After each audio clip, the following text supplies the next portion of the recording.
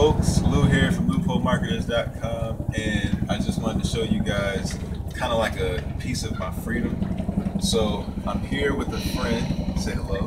What's going on? All right, we've been spending the week at the waterfront, the airport waterfront inn at Philadelphia, and as you can see behind us, it's like all this beautiful water and scenery and stuff. We're not too far from the airport actually, and we're at like this. I can't remember the name of the marina, but the marina is, as you can see, attached to the airport and whatnot. And we've been here for a week, from Monday and today is Friday, and we're about to leave in like an hour or two.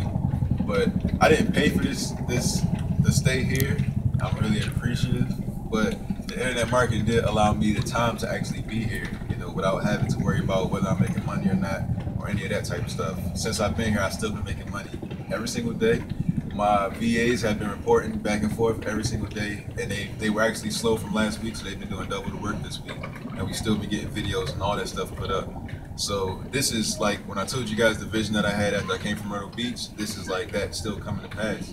You know what I mean? Me doing the work or setting things up that I did back then is allowing me to live like this without worries. You know, because I could have done this before, but I'd have been worried who was doing the work for this entire week and all that type of stuff. But now life is different.